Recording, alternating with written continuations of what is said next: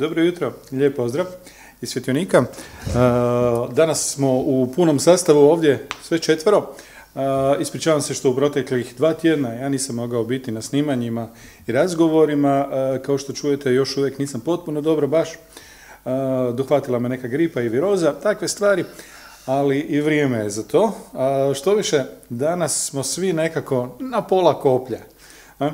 Čak smo, čak smo razmišljali o tome, možda bismo mogli umjesto teme danas obraditi ideju meditacije i tihe molitve. Znači jednostavno, znači jednostavno bismo sat vremena meditirali, tiho u sebi molili. to je otprilike domet naše snage danas. Nadam se da nije zaozbiljno ovoga, i da ćemo moći uistinu posvetiti svoju snagu, energiju i pažnju današnjoj temi. Prije nego što krenemo na temu, Davićo, hoćeš se ti molim te pomoliti? Može. Dragi se Kriste, dragi Bože, hvala ti na novom danu, hvala ti da možemo biti svi tu i da možemo zajedno proučavati tvoju riječ. Hvala ti na snazi, na snazi koju nam daješ i na zdravlju koju nam daješ, iako nismo svi neki put najbolji, ali hvala ti da si ti brine za nas. I hvala ti da možemo biti u tvome prisustvu i da si ti naš Bog i da te možemo znati da imamo tvoje kraljestvo.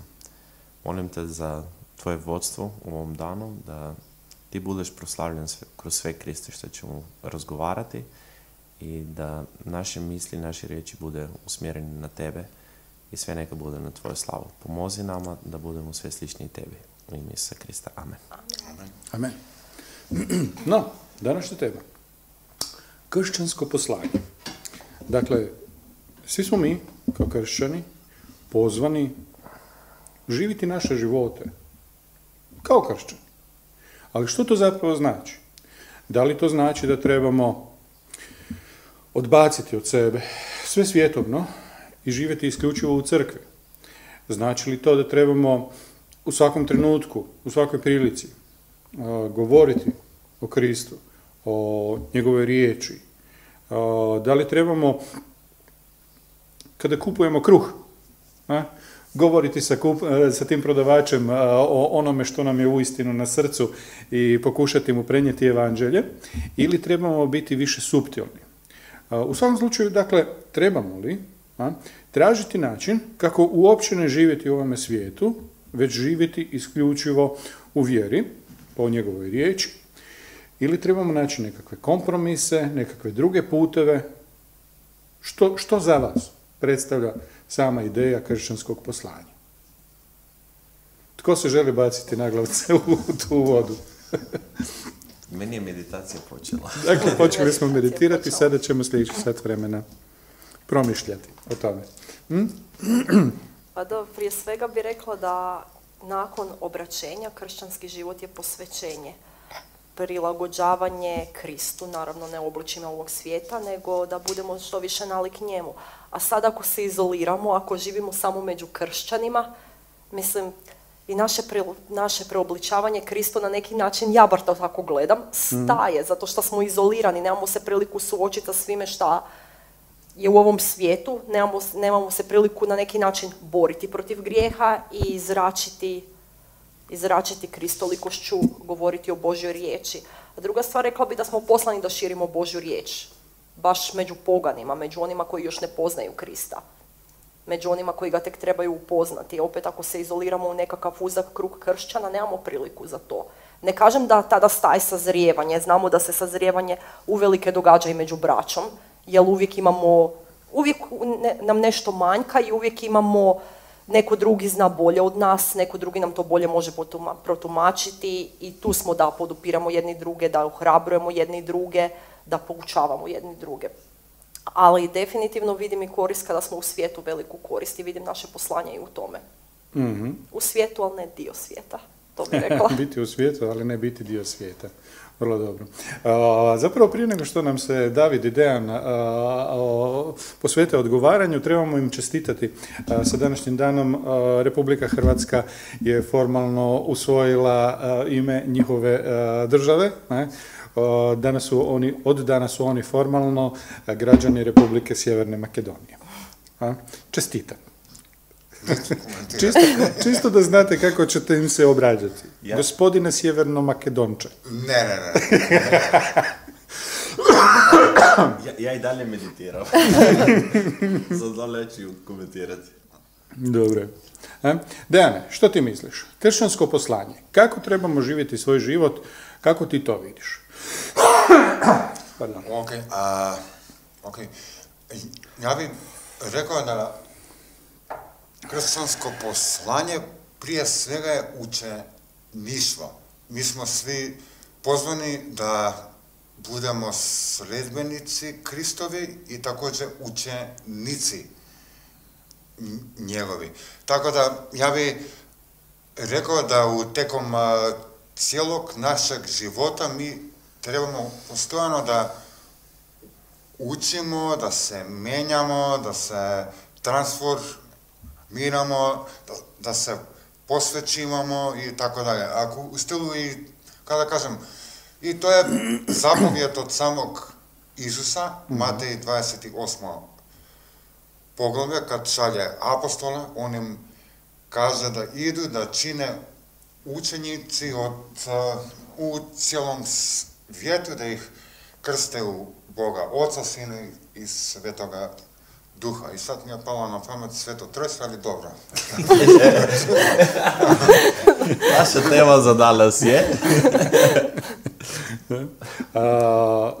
ovo, ovo što si rekao, da trebamo to sve činiti, to definitivno je istina, tome se ne može nešto posebno debatirati.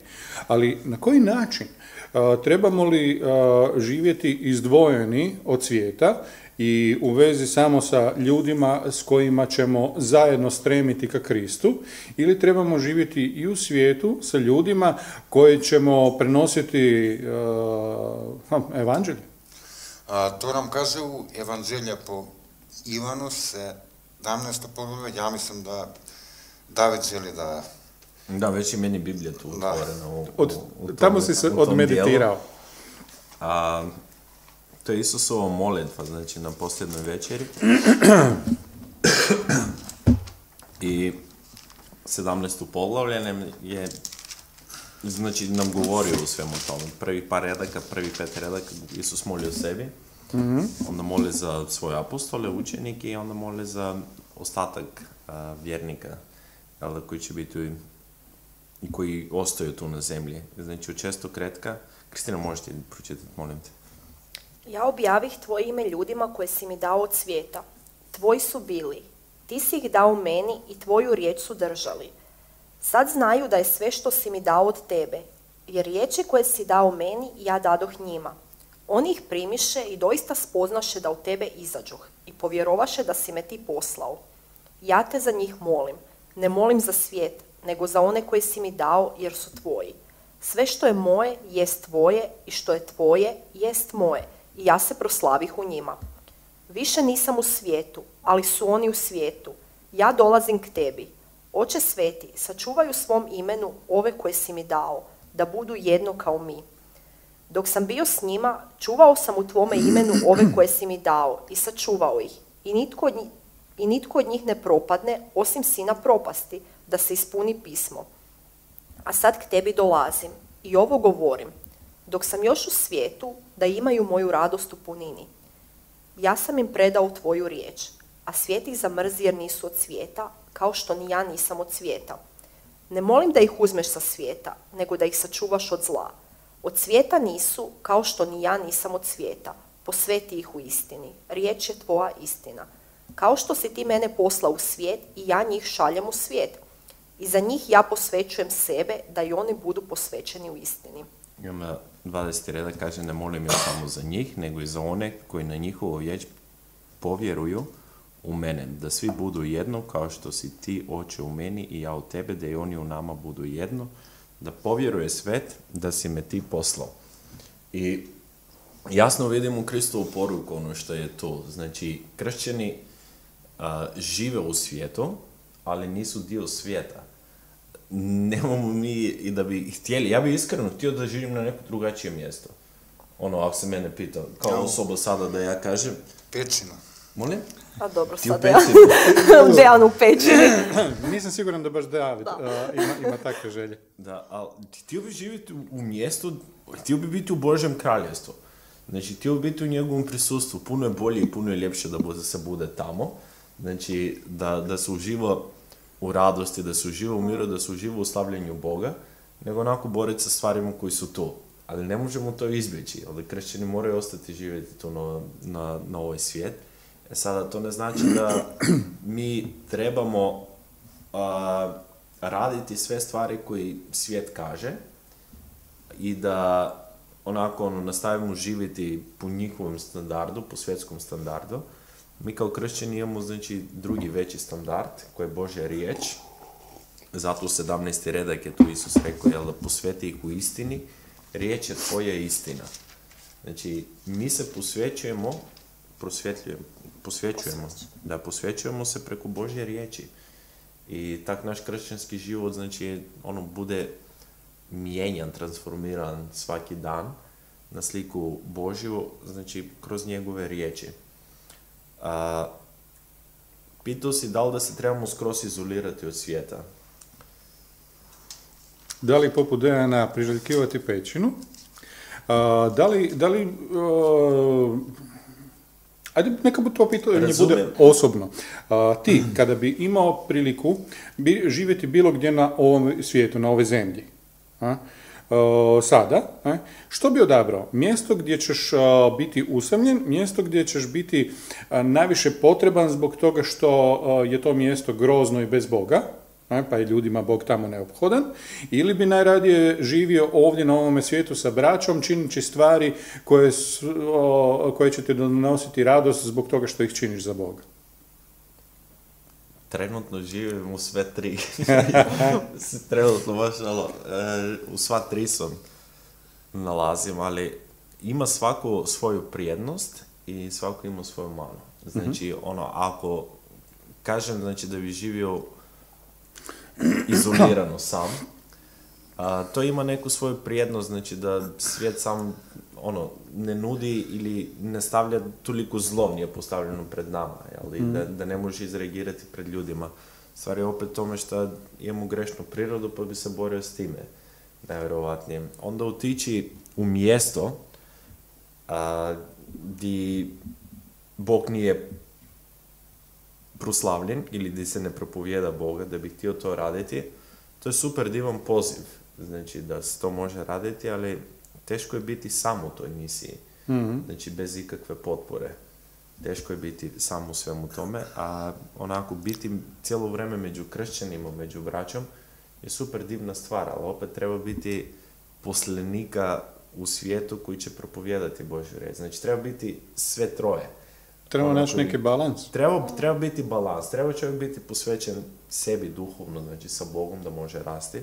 Treba čovjek biti posvećen i u evangelizaciji, u poslanju i treba čovjek biti isto tako posvećen među braćama i sestrama u zajednici. Da može ono crkva skupa rasti. Mhm. Odlično. Osobno. Da, osobno, naravno. Ne. Dane, zašto pećina? Aha, a kao da kažem, dobro, a kao da kažem, to je moje, moja A bez Osobna- interneta. Bez Bez interneta. O, pa to je prava pećina onda. Ne, ne.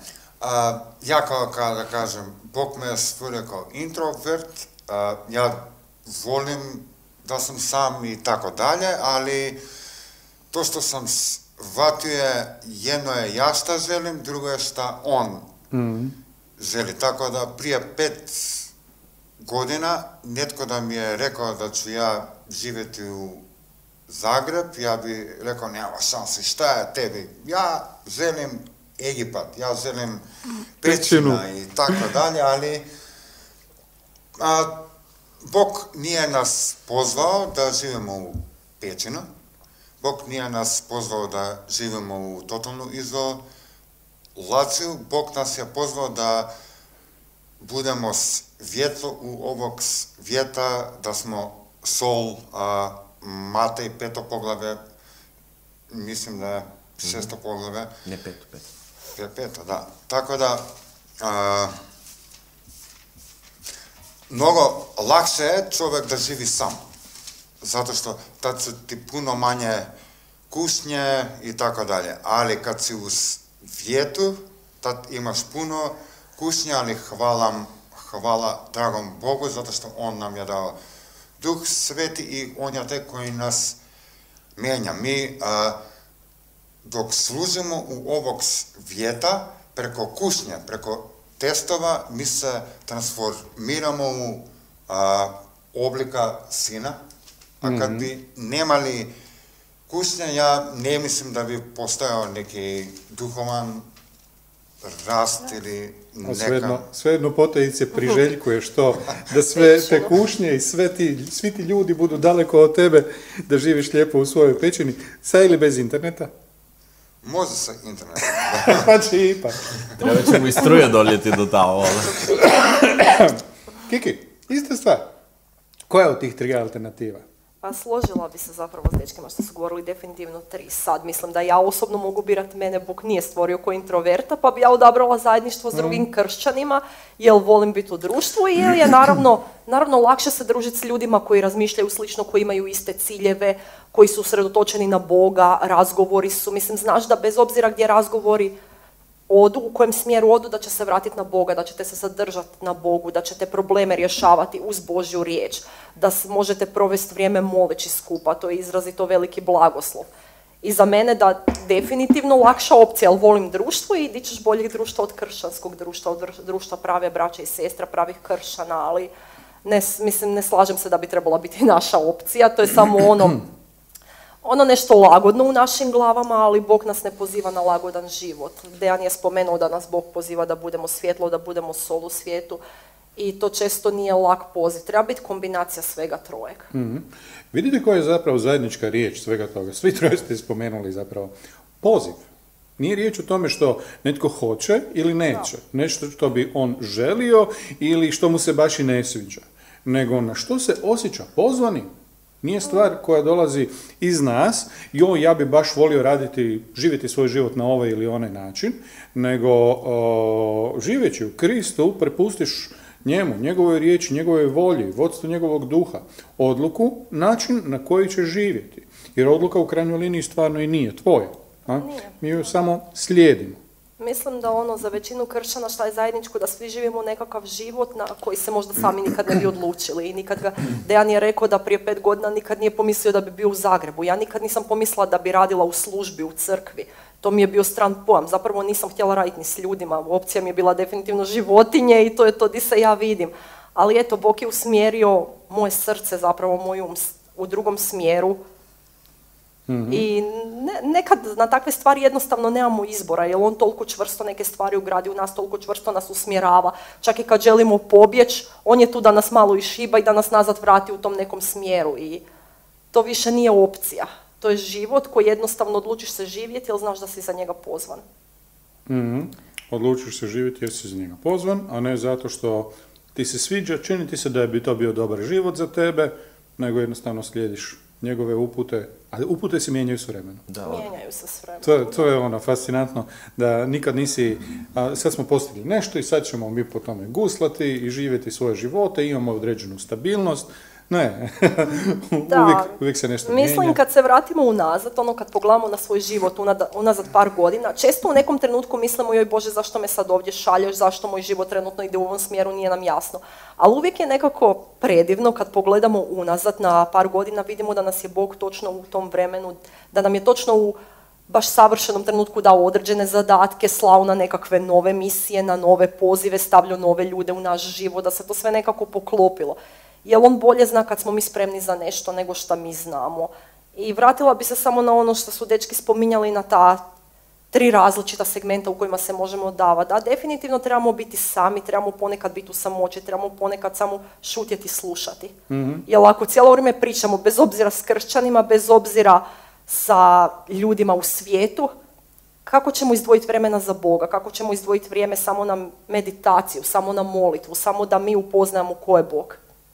I definitivno dragocjeni su ti trenutki, trenuci kad smo u svojim pećinama, kućama, kad se samo molimo, kad, kad nam je samo bitan Bog i Božja prisutnost. Ali onda kad se to nešto izgradi u nama, Bog nam daje tu druge kršćane za ohrabrenje, za zajedništvo, da još više naučimo propovjednike, da još više sazrijemo kroz Božju riječ. A onda je tu i svijet, gdje smo pozvani da idemo u svijet, da dijelimo njegovu riječ. Ok, to su, to su uglavnom osobni stavovi kako, kako mi to sami vidimo. No što zapravo trebamo reći našoj braći, našim sestrama, ljudima koji su s nama u crkvi, na koji način njima trebamo preporučiti kako da oni obavljaju, izvršuju svoje kršćansko poslanje. Trebaju li i oni tražiti način e, kako prestati živjeti u svijetu, e, odreći se e, sigurnosti, karijere, možda čak i obitelji i posvetiti svu svoju snagu životu u crkvenoj zajednici? Prva i najveća zapovjed, jel da, koja nam je kad su pitali Isusa koje je, on je rekao ovako, ljubi Boga svim svojim srcem, svom snagom i svom dušom. Onda kaže, druga je, ljubi svoga bližnjega, kao samoga sebe. A, prvo poslanje, kršćansko poslanje, znači je kada mi imamo odgovornost prije svega prema Bogu, a, da živimo na način kak nam Božja riječ kaže. Da živimo u posvećenju, da živimo za njegovu slavu i da budemo svaki dan obličavani sve više na sliku Kristovu. Znači, to dolazi definitivno uz Božju pomoć, preko njegovog duha, preko njegove riječi. Ali trud je i na nama ljudima, znači da mi se stremimo prema svemu tome i da, da radimo na svemu tome.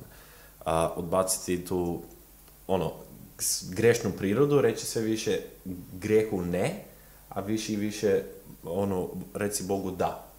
To je prva stvar. Znači, kad bi imali, kad bi imali prvo na pameti, znači, kršćansko poslanje ono kada je, da ne živimo više sami za sebe, nego da živimo za Boga, za Krista. Druga stvar što bi rekao ja da je to, a, svaki kršćanin ima poslanje. Znači, svaki kršćanin ima poslanje da, da bude kristolik i da bude sol i svjetlo u ovom svijetu. Nisu svi pozvani da budu propovjednici, nisu svi pozvani da budu onako iza propovedonice, da mogu proširiti Božju riječ. U Jakovu treće poglavlje prvi redak nam se kaže, ne mnogi od vas da budu učitelji, jer oni će biti strože suđeni. Prva Timotej i Tit nam govori koji su kvalifikacije za ljudi koji su u službi. Znači, kakvi te ljudi trebaju biti. A, znamo, čitamo i možemo pročitati i kasnije, znači ono to nam govori.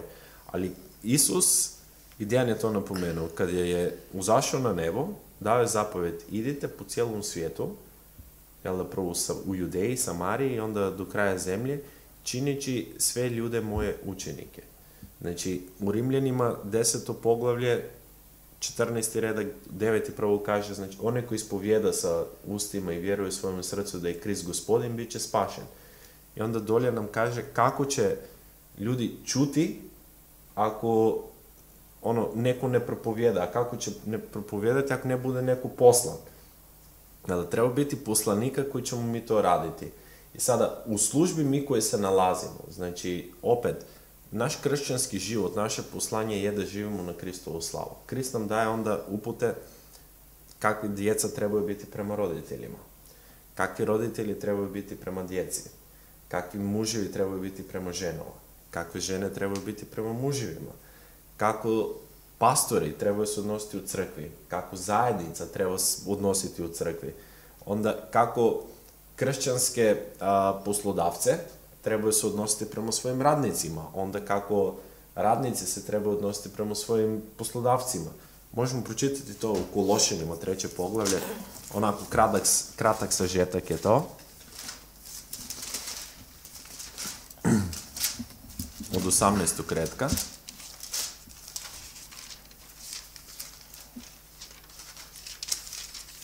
Tri. Tri.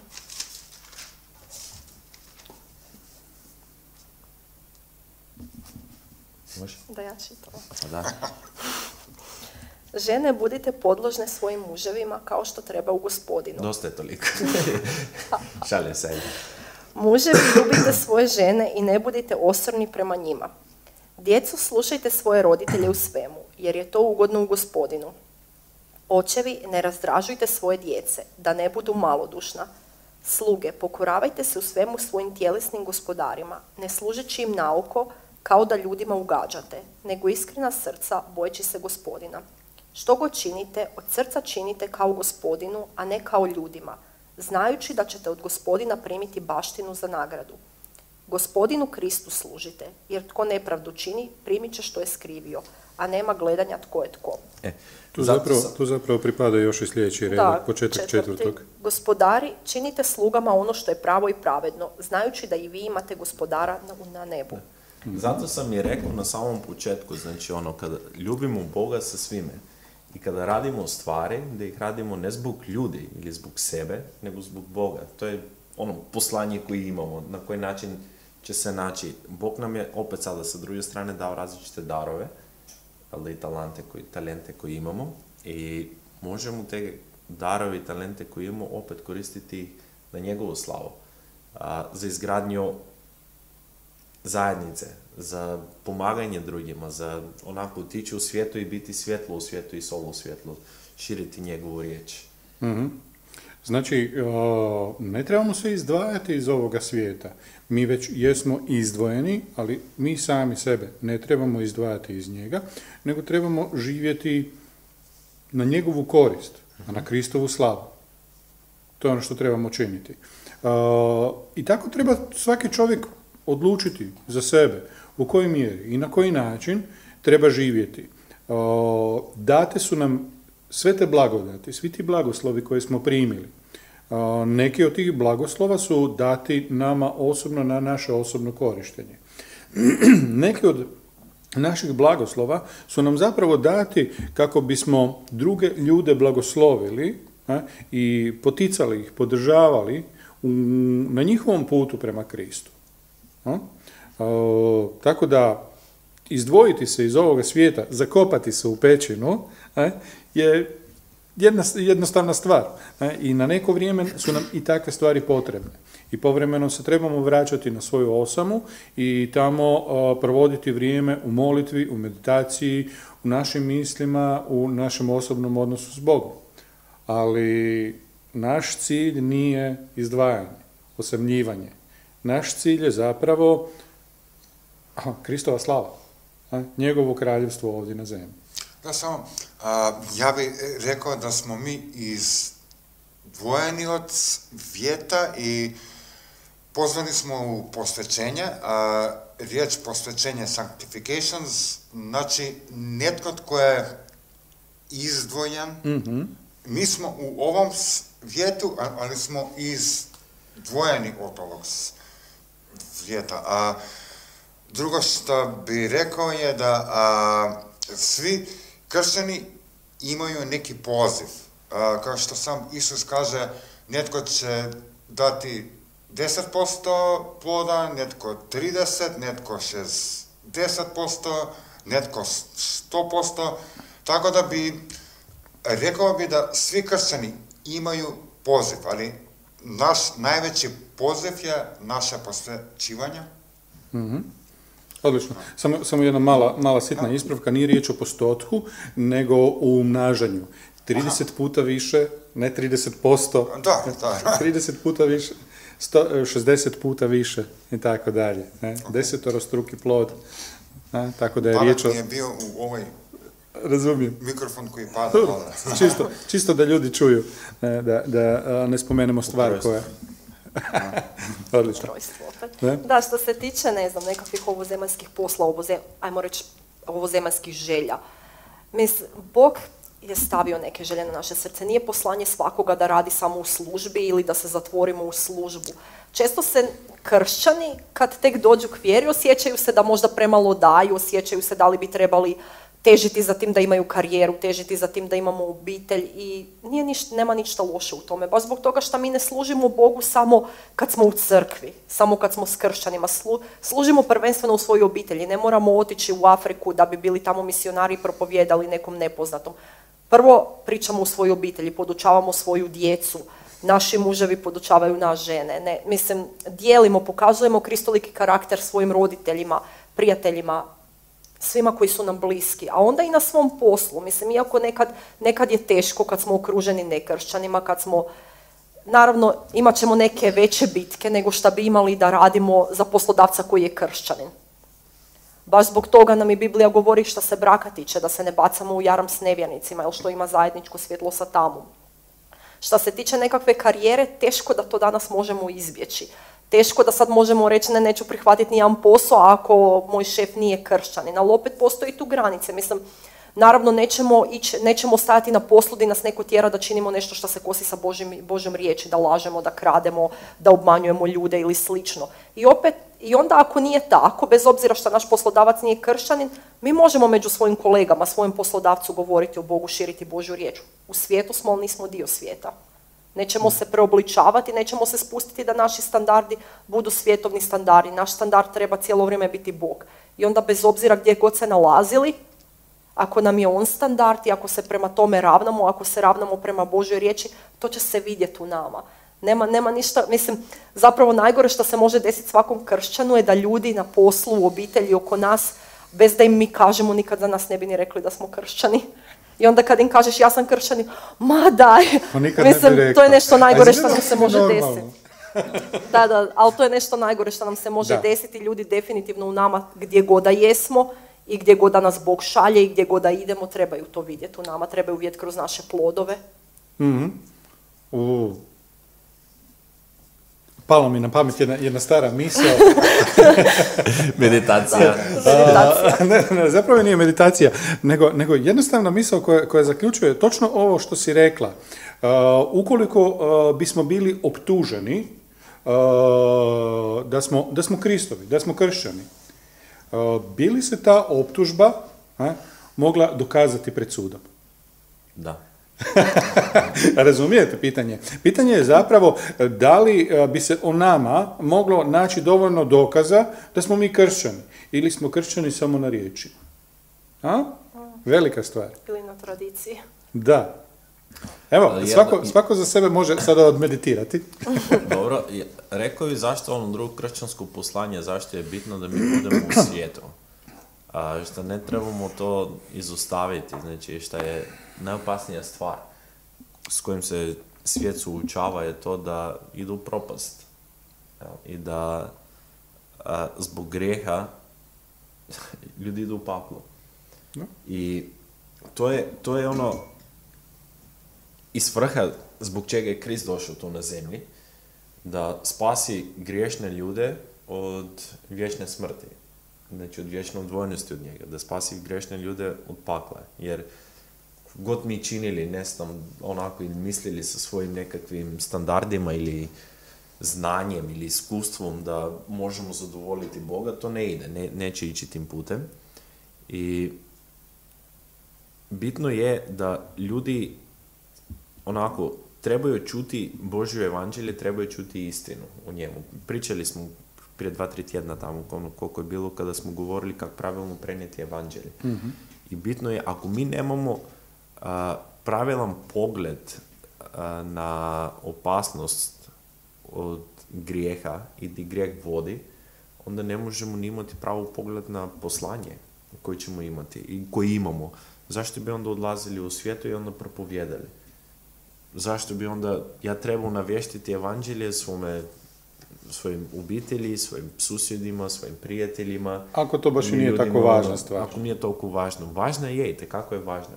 Mi ne znamo koji su ljudi Božji uh i koji će odgovoriti na Božjem pozivu, ali nama svima kao kršćanima zadatak je da idemo i da navješćujemo njegovo kraljestvo. Znači, da navješćujemo to da ljudi opasnost od grijeha, ne opasnost nego realnost ono za grijeh je pakao i da jedino Isus Krist, pravi Bog, ima rješenje i daje put do vječnog života do Boga, da bude u zajedništvu s njim. Preko njegove žrtve na križu, s time da su on uzio, da je on uzeo kaznu koju smo mi zaslužili. I da je on platio s time, da je umro, da je uskrsnuo. Možemo već imati i, I ništa ne treba čovjek raditi da bi zadobio tu milost. ništa čovjek ne može ono sam sa svojim dijelima. Ali nakon što smo primili tu milost, mi jesmo pozvani živjeti po Božjim standardima. Znači, jesmo pozvani živjeti u posvećenju, prije svega, znači, za Boga, za Krista, a onda jesmo pozvani da idemo u svijet i propovijedati. Nedavno sam imao ono propoved kada kaže žetva je velika, a poslanika je malo. I ne treba kršćanin čekati samo na, na pastor, na ljudi koji rade u, u crkvi. A, oni su školovani za to, pa oni to trebaju napraviti. Oni, oni, oni neki idu evangelizirati. Svaki kršćanin, znači, ako već je razumio čega je spašen, onda treba ići i propovijedati tu istu poruku. Znači, zapravo želiš naglasiti dvije stvari. Uh, Prva je da uh, trebamo vrlo ozbiljno shvatiti uh, o čemu je tu zapravo riječ u našim životima i u našoj vječnosti. Uh, Ne smijemo pristupiti svome kršćanskom životu kao nečem opuštenom, casual. Hobi. Uh, Hobi, da. Uh, Čime se ti baviš sa skuporom marke, uh, volim duga putovanja. Utorkom i četvrtkom gotovo- sam kršćanin. Got- I gotovo svake nedjelje odim malo u crkvu. Ne? Tamo se molimo, pjevamo i baš nam lijepo. Dakle, takav opušteni pristup definitivno nije nešto što trebamo na bilo kojoj razini prihvatiti. Moramo biti svjesni i moramo ljudima govoriti kako ta činjenica da Bog ima problem s nama i način na koji je taj problem riješen je vrlo ozbiljna stvar i to ne možemo pristupiti olako. To su naši životi. I to su životi ljudi kojima mi govorimo. a? Znači nije mala stvar, nego je presudna stvar. I druga ideja koju si htio, koliko sam vidio, naglasiti je a, to da kada to činimo, da kada tako živimo, a, to trebamo činiti dosljedno, u potpunosti, usmjereno. No? Velika stvar. Imaju lijepi stihovi baš na, na ovo sad što ste pričali, isto u Kološanima, tu di jesmo zapravo. Lijepi stihovi. Lijepi. treće, treće poglavlje od 12. redka. Obucite se dakle kao izabranici Božji, sveti i ljubljeni, u srdačno milosrđe, dobrotu, poniznost, blagost i strpljivost. Podnosite jedni druge i praštate jedan drugome. Ako neko ima tužbu protiv koga, kao što je gospodin vama oprostio, tako i vi. A povrh svega toga imate ljubav koja je veza savršenstva. Neka Kristov mir vlada u vašim srcima na koji ste pozvani u jednom tijelu. Budite zahvalni. Kristova riječ neka prebiva u vama obilato. U svakoj mudrosti poučavajte i urazumljujte jedni druge psalmima, hvalospjevima, duhovnim pjesmama. Zahvalno pjevajte u svojim srcima Bogu. Što god činite riječju ili dijelom, sve činite u ime gospodina Isusa zahvaljujući Bogu Ocu po njemu. Mislim, to su divni reci zapravo kako bi se trebali kao kršćani, kako se mi ponašamo među braćom, kako trebamo jedni druge uhrabrivati, kako trebamo jedni drugima biti na blagoslov. Ali takvi trebamo biti u svijetu i svijet to treba prepoznati u nama i točno trebamo djelovati po Znači- tome što nam je napisano. Znači, onako kako je David rekao, a, širenje Božje riječi, širenje Božje istine, a, poticanje drugih da žive svoje živote na, na ispravan način, nije dužnost a, pastora, a, crkvenih starješina, vođa, učitelja, nego je dužnost svakoga od nas. A, Svi mi trebamo činiti upravo to. Sami nastojati i poticati druge. Ali pastori ono bitno je da doktrina koja se daje, hrana koja se daje ljudima da bude zdrava i da bude biblijska. Da, ne kažem da oni Znači, nemaju veliku ulogu, i- i nego da dosta- nitko drugi nije a, izdvojen od svojih obaveza. Definitivno, ali sad ono kad nas ljudi mogu čuti, znači, o, ovak, dosta, mi, mi- mi, mi često puta mi naglašavamo taj dio i, i opet ćemo ga naglasiti jer je stvarno bitno, bez biblijske teologije, bez egzegeze, bez pravilno ono razumljevanje Božje riječi, onda je i teško otići vani i govoriti neke stvari. A, opasnost je, ukoliko ne znamo dobro pismo, da možemo govoriti doktrine koje nisu zdrave. A, opasnost je da ljudi budu krivo vođeni. A i ne samo to, realnost je da đavo djeluje preko lažnih učitelja. U poslanicima, znači u Novom Zavjetu, Pavo ne znam koliko puta je to sve napomenuo, znači protiv tih lažnih učitelja. Zamisli, Koji zamisli te govore užas da se nešto- jednoga dana probudiš i shvatiš, pa ono što sam ja jučer govorio, ono je lažno učenje. Čime, čime sam ja zapravo lažni učitelj. Ne, oko, ako, U. ako jesmo u Božjoj riječi, onda, ono, Bog nas prosvjedočuje za to. Da, ali... E sada, i sada- Sve, svejedno, Ono ja, što ja, sam- mene, me- mene voli biti strah. Ja volim da mi I u redu strah. je, znači, imati strah, ta- to, to, ne, i onda nas uči da to više budemo ponizni prema Bogom. Ali, ovako ono kada, kada imate i, i, i lažne učitelji, znači ono kada jesu, đavo voli raditi preko te stvari. I onda govorimo u ime Boga, religije, jel? a onda radimo skroz nešto drugačije, suprotno od Božje riječi. A, nije ni čudo, u drugu Solunjen ima drugu poglavlje kad je kaže da čak i sam đavo se pretvara kao Bog i sjedi u hramu jel? i onda čini čudese i znakove i te stvari. A, ono što trebamo, znači, poruka evanđelje je ta, da čovjek je spašen od grijeha i, u stvari ovako, da čovjek zbog grijeha zaslužuje pakao. Svaka osoba. Nema ni jedna osoba na ovom svijetu koja to nije zaslužila ili koja je dovoljno dobar. Po Božjim standardima nema ni jedno koji je dobar. Dobra vijest je samo da jedino preko Isusa Krista čovjek može imati opravdanje grijeha. Sa njegovom žrtvom na križu i s njegovim smrću i uskrsnuće, znači vi imamo taj dar. Oprošteni su naši grijesi. Njegova pravednost je stavljena na, na, na njegove ljude. Jedino što čovjek može raditi je tražiti njegovu milost. I onda posvećivati se po Božjoj riječi.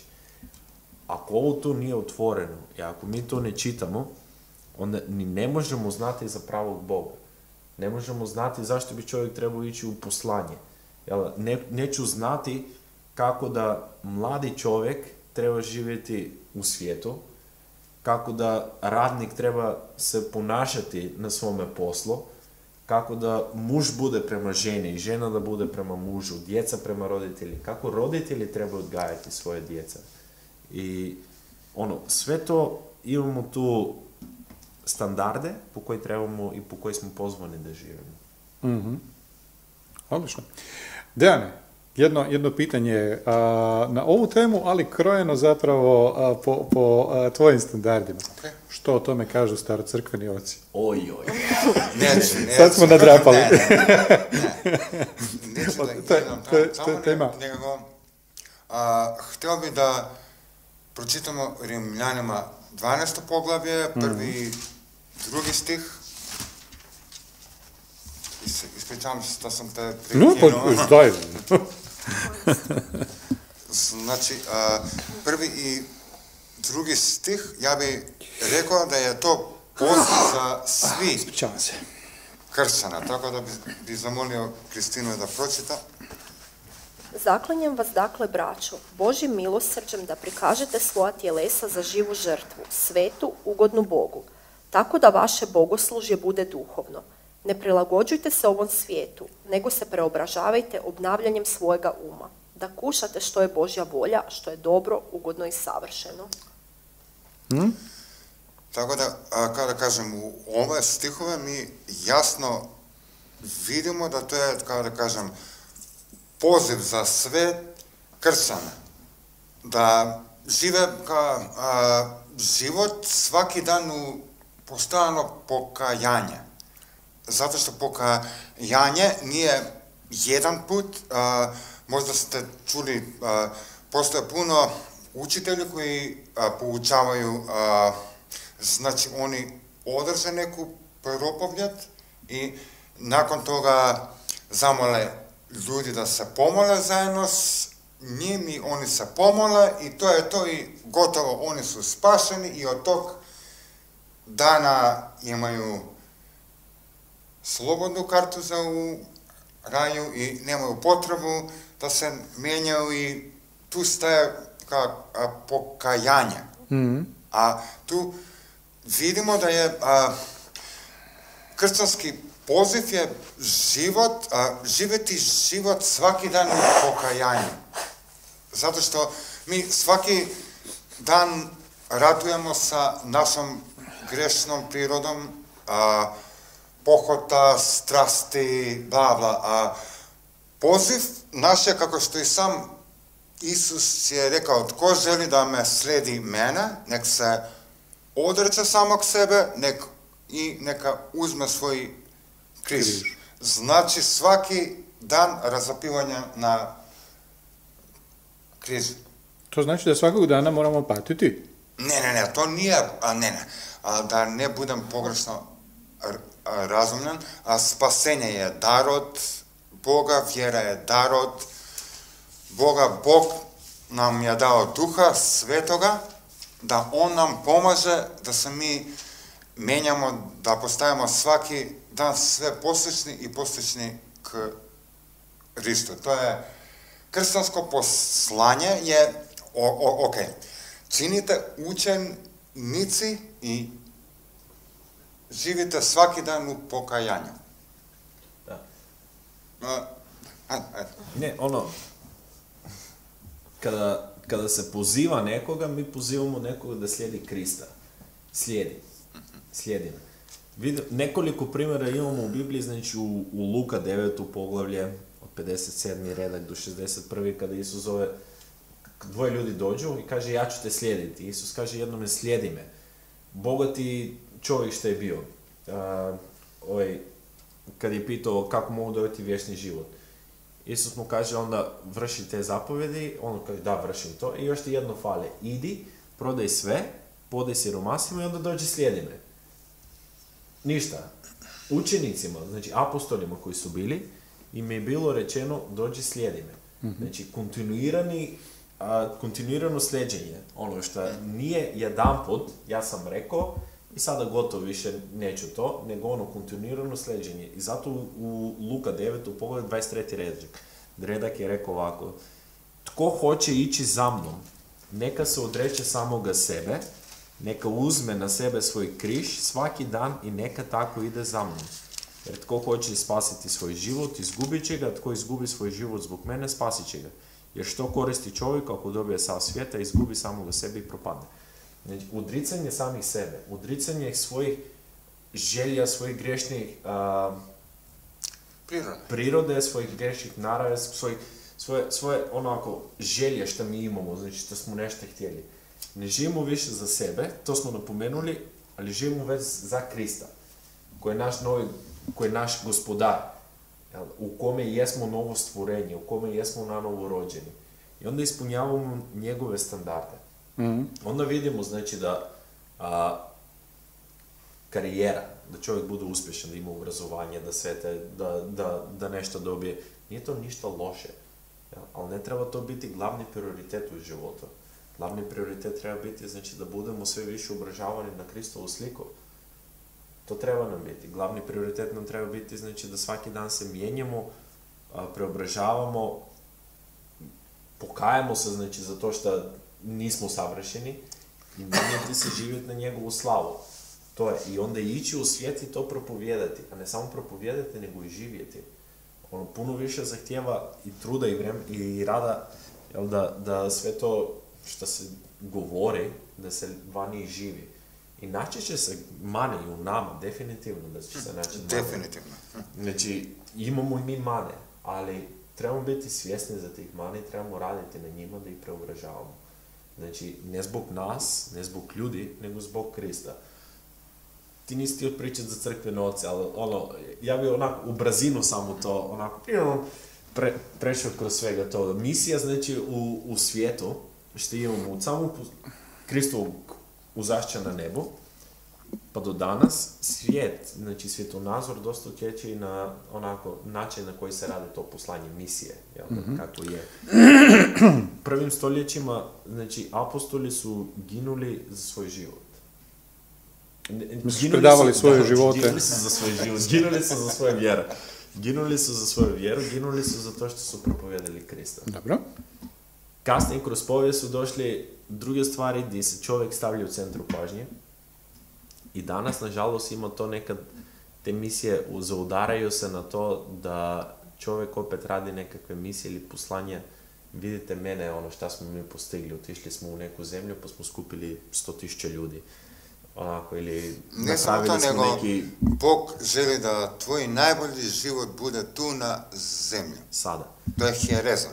Да. да. И I to, nego ono što je bitno je da se mi vratimo na Kristove riječi, na Božje riječi.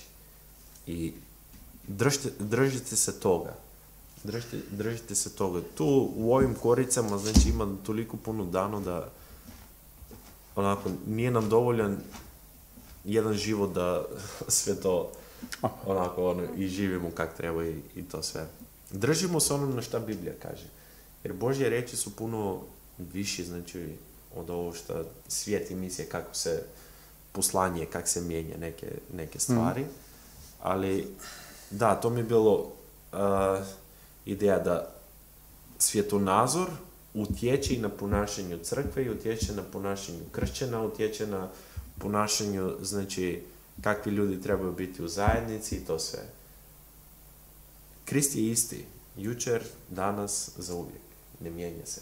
Bog je isti, jučer, danas, uvijek. Njegove standarde ostaju. Mm.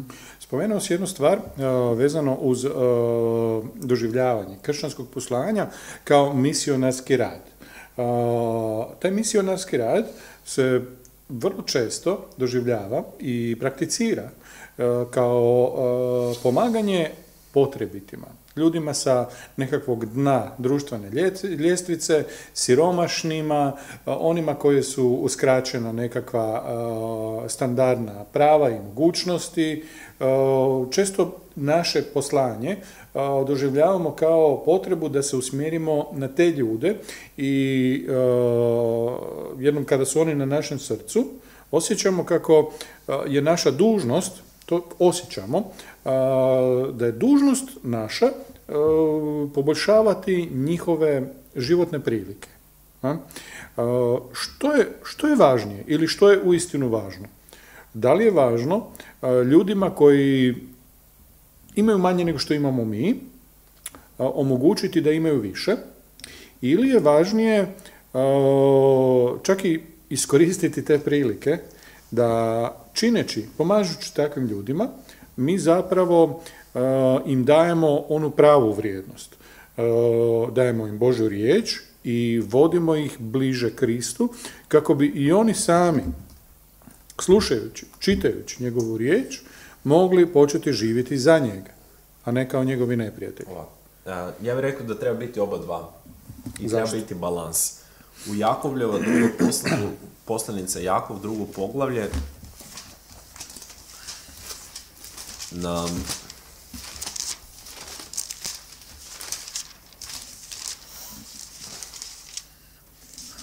a, 14. redak.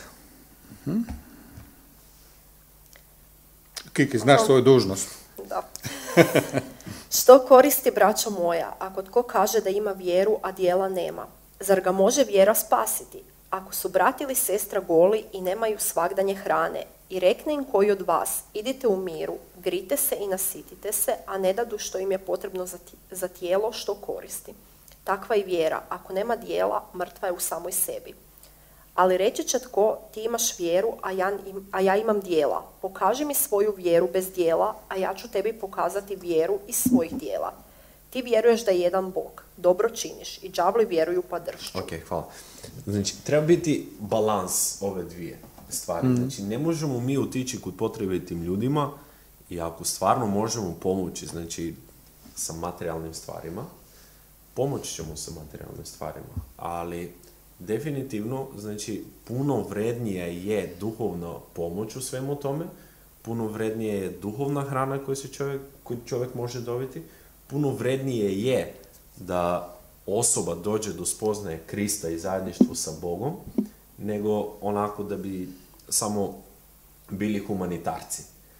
Ali čovjek, kršćanin koji je, kada vidi brata ili sestra u potrebi, treba uskočiti u svemu tome i pomoći u svemu tome. Da. To ne znači, sad da budemo jasni, to ne znači, znači da druga strana treba biti cijelo vrijeme samo pasivna i da se čeka, jel da, onako ono, a, pobrinut ćemo se, jel, ali treba se pomoći takvoj osobi, takvim ljudima, takvoj zajednici, takvom gradu, nebitno, znači da, da se dođe do toga da se stvaraju radne navike i da ljudi budu poduzetni u svemu tome. Kao kršćani, znači mora biti balans od ova dvije. Definitivno pomoć u praktičnim stvarima, Mhm. ali isto tako i ne izostaviti Božju riječ i ne izostaviti navješćivanje njegove istine.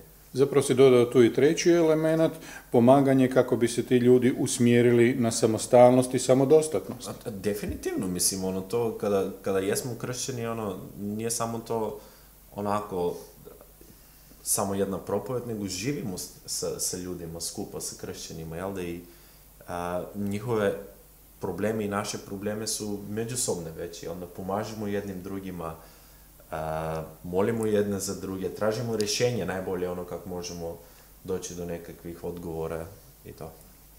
Odlično. Fino. A, imamo li još kakvu ideju? Mi ćemo biti poslali uskoro. Idete na svoje poslanje. Idemo I dalje, koje se mijenja iz dana u dan gotovo.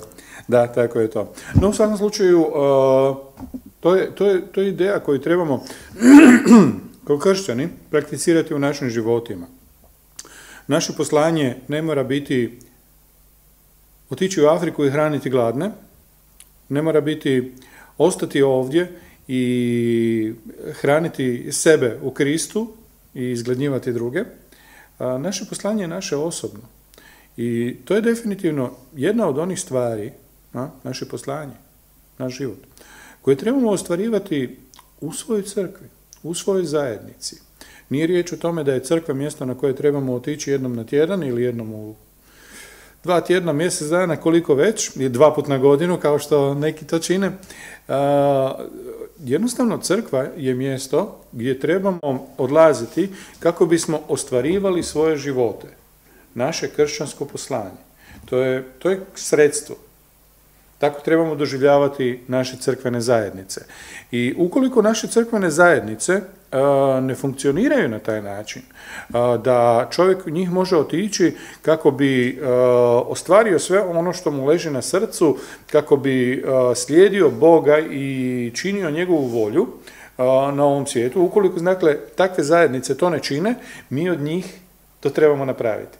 Mi trebamo od svoje zajednice napraviti ono što je nama osobno potrebno kako bi e, mogli ostvarivati svoje želje, svoje potrebe, da živimo i rastemo i djelujemo u Kristu. A? Znači, i, ras- i zajednica svaka, baš kao i svaka osoba, treba čitavo vrijeme se mijenjati, čitavo vrijeme obnavljati, čitavo vrijeme uh, ustra- ustrajati u tome da čini najbolje što može i na taj način se mijenjati u Kristu. Hm? Odlično. Hvala vam lijepo na pažnji. Uh, vidimo se za par dana. Uh, ne znam da li ćemo u utorak, vidite koliko sam izvan toka, ne znam da li ćemo u utorak imati Andrijino učenje ili ćemo nastaviti dalje sa našim pitanjima i odgovorima. No u svakom slučaju u, u šest na večer uh, možete očekivati da, ćemo, da ćemo nešto činiti. A? Moći ćete nas ponovo naći na internetu, na Zoomu, na čemu već. Sutra, nedjelja, nedjeljna služba, imamo ih u jedan na hrvatskom i u šest popodne na engleskom. Sutra će, koliko znam, biti i gospodnja večera, tako da se trebamo i za to pripremiti jer znamo da to nije nešto što možemo, čemu možemo pristupati olako. Toliko, ostajte nam snažno u Kristu i rastite u njemu.